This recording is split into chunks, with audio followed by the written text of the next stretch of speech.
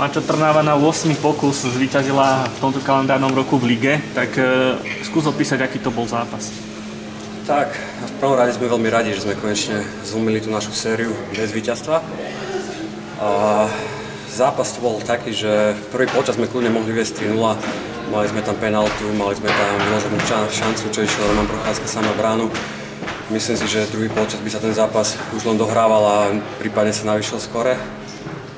Nestalo sa tak a tak sme bojovali až do poslednej minúty a chvála Bohu sme to zvládli. Ty si bol v roli toho gólového strelca, bol to tvoj prvý gól v živote vo Fortuna Lige, tak e, možno až pre teba možno aj také nečakané, že práve ty si rozhodol a bol tým hrdinom.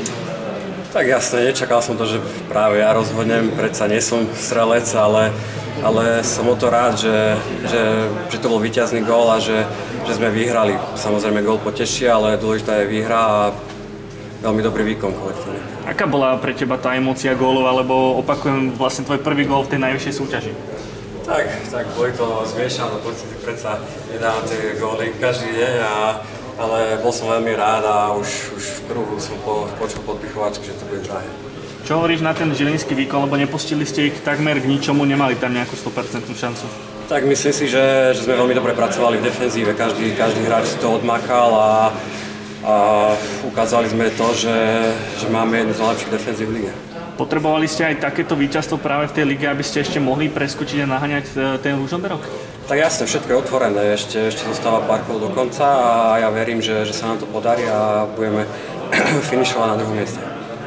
Maťo, ten tvoj príbeh Trnava je taký zaujímavý teraz, lebo v zime vlastne otvorene hovorili o tom, že teda sa s tebou nepočítané a že môžeš ísť na hostovanie, ty si sa rozhodol teda radšej zostať a zabojovať a vybojoval si si to miesto v základnej zostave.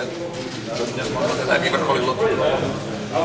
Tak, futbalový život je taký, jo. predsa kedy neviete, čo, čo prinesie a situácia sa vyvinula tak, že som zostal a nič iné mi nedostávalo, len zabojovať, proste nevyhovárať sa na žiadne veci, že nehrávam, proste zamakať a futbal mi to vrátil. Je to pre teba aj teraz motivujúce o to viac, že práve Ružomberok, v ktorom si pôsobil, že bude to naozaj z jednej strany na druhú, že na preskačku, že súboj veľký o druhé miesto? Tak jasne, je to, je to zaujímavé, predsa budú tam podpichovačky, mám tam, mám tam veľa kamarátov, a, ale ja verím, že, že skončíme my na tom druhom mieste. Vyzerá to tak, že ten stoperský post sedí, Môžeš si už to písať do životopisu, že teda si stoper?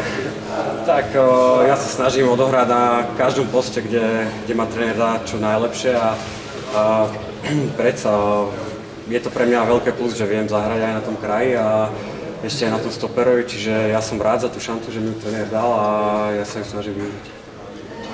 Ešte opíš prosím ťa, ako si sa ocitol v tej šanci, ako si vnímal záver v tej akcii. Fú, tak uh, myslím si, že tam bola štandardná situácia. Uh, dohrávala sa tam druhá lopta. Uh, viem, že sa centrovalo do 16 a a Gary, Gary išiel zakončovať a tak v kútiku som tušil, že, že, že, že ju dá buď do brankára, že ju vyrazí a nakoniec ju hlavičkoval ku mňa a ja som len uložil do, prakticky do prázdnej bránky. Dobre, díky. Ďakujem. No.